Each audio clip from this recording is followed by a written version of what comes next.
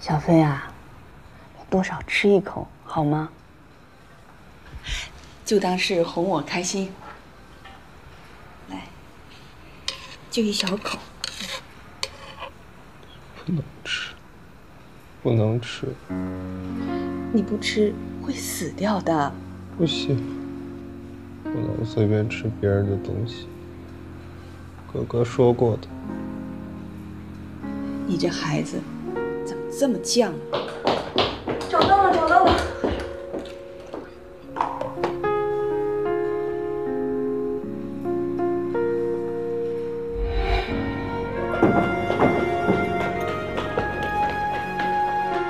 哥，昨晚我又拉肚子。你又吃了谁给的面包，对吧？不是跟你说了吗？这里的人都不能相信，不要随便吃别人给的东西。可是我饿。你记住，这世上除了自己的亲人，没有人会无条件对你好。爸妈已经去世了，你能相信的只有我。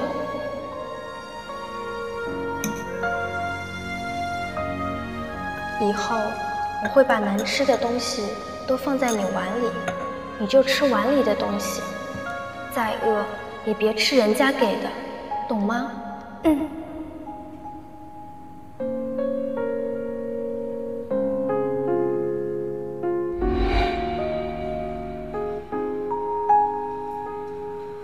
小飞，小飞。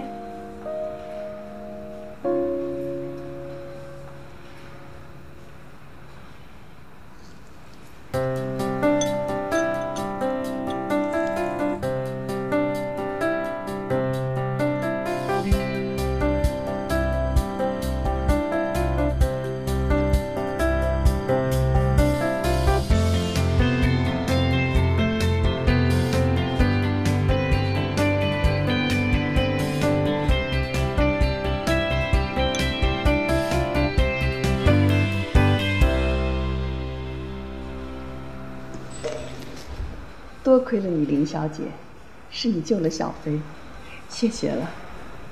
嗯，没什么，都是邻居的嘛，应该的。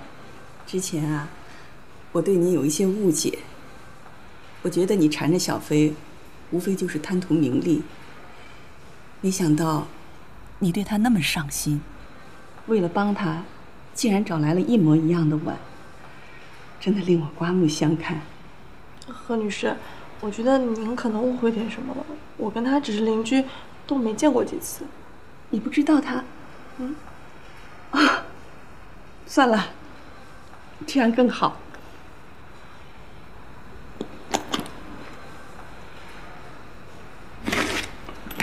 你这是？这个呀，是我的一点心意。小飞他从小就缺少朋友，能遇到你这么好的邻居，我真的挺高兴的。他这个人呢，不太会照顾自己。我希望我不在的时候，你跟你的室友能帮忙照顾一下，好吗？当然好，但是这个你就收回去吧，不用。你别误解，真的，只是一点心意。我坚持。哦，对了，你那个星光釉瓷仿品是从哪儿找到的？据我所知，目前市场上能做的这么真的还真不多，简直可以以假乱真了。哦，那个我是找我朋友帮忙的，我也不知道。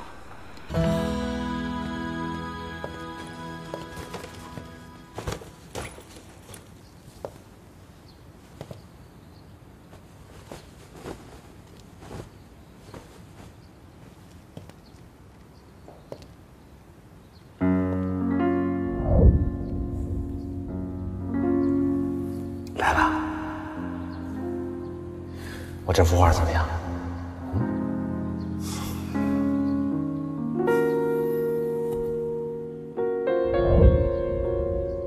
安迪，安迪，我呀，每次到这儿，总是会想起你的老师。你呀，跟你老师是一模一样的脾气，不喜欢约束，喜欢随心所欲，一心呐都浸淫在艺术当中。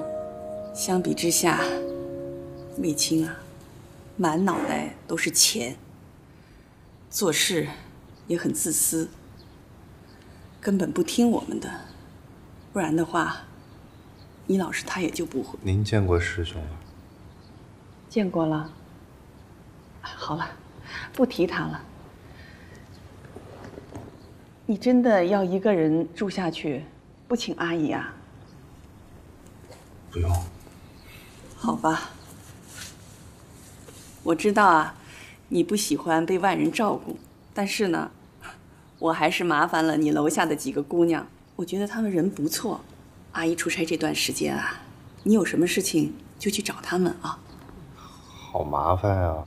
就是让你去添麻烦的呀，小飞啊，偶尔的呢，也要接受一下别人的照顾帮助，即使这份善意是付费的，懂吗？那阿姨走了，你自己当心啊。好。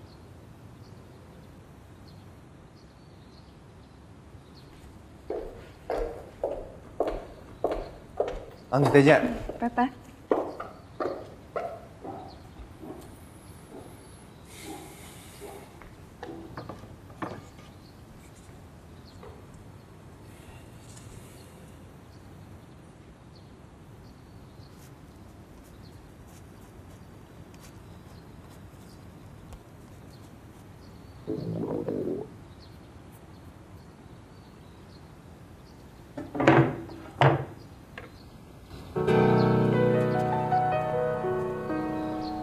藏品库都清理好了，碎掉的藏品也都清点过了。你要不要过目一下？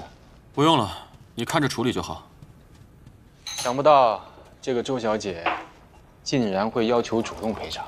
是啊，要不是出了这件事情，我还真不知道怎么把她留在我身边。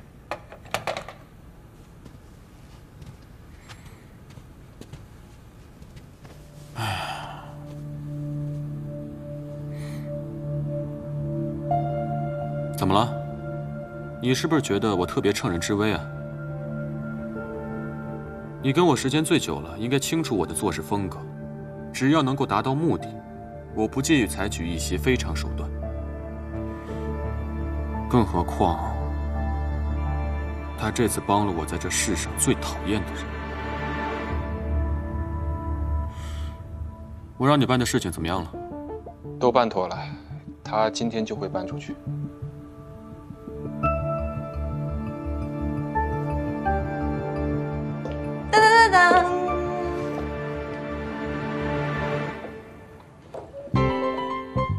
你这身行头，该不会就是用的楼上给的猫粮钱？怎么样？托我们金主阿姨的福，不用剁手也能买买买。把钱还了？凭什么呀？我们一没偷二没抢的，他愿意给我们砸钱，我们帮着花点怎么了？钱是花了，人谁来养？连泡面都不会煮的你吗？开什么玩笑？泡面我还是会煮的，好吗？不像你，没把别人当小白鼠就不错了。那剩下的就只有我们家最会照顾人的那位啦。不对呀，这昨天把碗给了我之后，就一直从房间里面没出来，宵夜都没出来吃，这什么情况？他今天一大早就出去了，到现在也没回来，估计是有什么事儿吧。不会是因为我那个碗吧？我听何总说了，那个碗好像有一对儿，然后完了还挺贵的。嗯，确实贵。就你买的那个爱马仕的碗，把这一整个屋子摆满，也未必买得起一个。这么贵？那他是从哪儿弄？不行，我得打电话问问。别打了，你这么打电话也问不出来什么的。为什么呀？